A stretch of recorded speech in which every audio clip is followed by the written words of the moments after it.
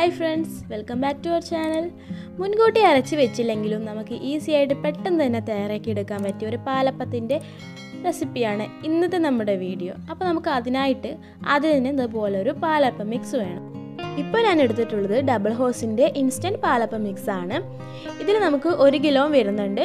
Free ആയിട്ട് ഇരുന്നൂറ് ഗ്രാമും കൂടി എക്സ്ട്രാ കിട്ടുന്നുണ്ട് കേട്ടോ ഇതിന്റെ വില നൂറ്റിയഞ്ച് രൂപയാണ്. പിന്നെ നമുക്കിതിലേക്ക് പ്രത്യേകിച്ച് പാലൊന്നും ചേർത്ത് കൊടുക്കേണ്ട ആവശ്യമില്ല. അപ്പോൾ നമുക്ക് പാലപ്പം ഉണ്ടാക്കി നോക്കിയാലോ? പിന്നെ ഞാൻ ഇതിൽ നിന്ന് മുഴുവനായിട്ടൊന്നും എടുത്ത് കാണിക്കുന്നില്ല. കറക്റ്റ് ഇരുന്നൂറ് ഗ്രാം എന്ന അളവിലാണ് എടുക്കുന്നത്. അതിനായിട്ട് ഒരു കപ്പ് എടുത്തിട്ടുണ്ട്. ഇത് നമുക്ക് ഇരുന്നൂറ്റി ഇരുപത്തഞ്ച് എം എല്ലിന്റെ കപ്പാണ് ഇതിൽ നമുക്ക് ഏകദേശം ഇരുന്നൂറ് ഗ്രാം കറക്റ്റായി കിട്ടാറുണ്ട് കേട്ടോ അപ്പോൾ ഈ ഒരു കപ്പിന്റെ അളവിനനുസരിച്ചാണ് ബാക്കി എല്ലാ അളവും എടുക്കുന്നത്. അപ്പോൾ നമുക്ക് ആദ്യം തന്നെ ഇത് ഒരു മിക്സീന്റെ ജാറിൽ ഇട്ട് കൊടുക്കാം.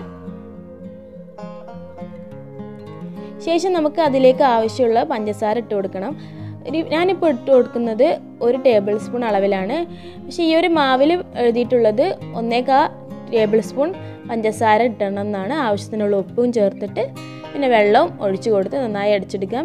ഇതിലേക്ക് നമുക്ക് ഇരുന്നൂറ്റമ്പത് എം എൽ വെള്ളത്തിന്റെ ആവശ്യമുണ്ട്. അപ്പോൾ ആ ഒരു അളവ് എടുത്തിട്ട് അടിച്ചെടുത്തിട്ട് വരാം.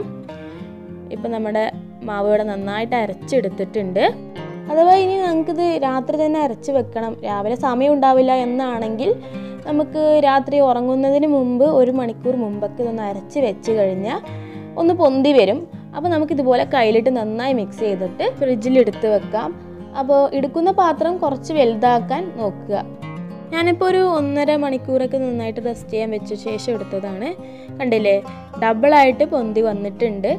നല്ല രീതിയിൽ തന്നെ പൊന്തി വന്നിട്ടുണ്ട്. ഇനി നമുക്ക് ഇതിലേക്ക് ഉപ്പോ സോഡപ്പൊടി ഒന്നും ചേർത്തേണ്ട ആവശ്യമില്ല. ഡയറക്റ്റ് നമുക്ക് ചുട്ട് എടുത്താൽ മതി. ഞാനിപ്പോൾ എടുത്തത് ഇരുന്നൂറ് ഗ്രാം പൊടിയാണ്. അപ്പോൾ എനിക്ക് ഈ ഒരു മാവ് വെച്ചിട്ട് ഒരു അഞ്ച് ആറ് പാലപ്പമൊക്കെ ഉണ്ടാക്കി എടുക്കാൻ പറ്റും. നമ്മുടെ വീട്ടിൽ എത്ര പേരുണ്ടെന്നനുസരിച്ചിട്ട് നമ്മൾ അതിനനുസരിച്ച് മാവ് എടുക്കാൻ ശ്രമിക്കുക. ഞാനൊരിക്കലും ഈ ഒരു മാവ് എപ്പോഴും ഉപയോഗിക്കണമെന്നൊന്നും പറയില്ല കേട്ടോ. നമ്മുടെ വീട്ടിൽ അരച്ചുണ്ടാക്കുന്ന മാവ് തന്നെയാണ് എപ്പോഴും ബെസ്റ്റ് പക്ഷെ നമുക്ക് എപ്പോഴെങ്കിലൊക്കെ ഒരു ദിവസം നമുക്ക് പെട്ടെന്ന് ബ്രേക്ക്ഫാസ്റ്റ് ഉണ്ടാക്കാൻ സമയമില്ല ഒഴുകി എന്നൊക്കെ വിചാരിക്കുകയാണെങ്കിൽ അപ്പോഴൊക്കെ നമുക്കിത് യൂസ്ഫുള്ളായിരിക്കും അപ്പോൾ നമ്മൾ അരച്ചെടുത്ത മാവ് പോലെ തന്നെ അടിപൊളിയായിട്ട് എന്തായാലും അപ്പം കിട്ടുന്നുണ്ട് കേട്ടോ. നല്ല ഓട്ട കുത്തി വരുന്നുണ്ട്. കണ്ടില്ലേ? അപ്പോൾ നമുക്ക് വെള്ളപ്പം ആണെങ്കിൽ അങ്ങനെ വേണമെങ്കിലും ചുട്ടെടുക്കാം. ഇത്തിരി മൊരിഞ്ഞിട്ടൊക്കെ വേണം. നല്ല ക്രിസ്പി ആയിട്ട് വേണമെന്നുണ്ടെങ്കിൽ അങ്ങനെയും ചെയ്തെടുക്കാം. ഞാൻ എന്റെ വീട്ടിൽ സാധാരണ ക്രിസ്പി ആയിട്ടുള്ള അപ്പമാണ് ഉണ്ടാക്കാറ്.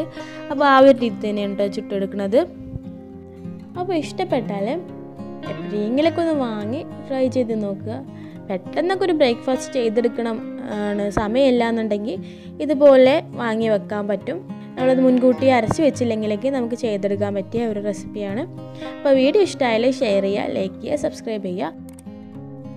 അപ്പോൾ ഇതുപോലുള്ള സിമ്പിളായിട്ടുള്ള റെസിപ്പീസൊക്കെ എന്റെ ചാനലിൽ അപ്ലോഡ് ചെയ്തിട്ടുണ്ട്. അപ്പോൾ അതൊക്കെ ഒന്ന് കയറി കണ്ടു നോക്കുക. അപ്പോൾ ഇനിയും സിമ്പിളായിട്ടുള്ള റെസിപ്പി ആയിട്ട് കാണാം. അതുവരേക്കും ബൈ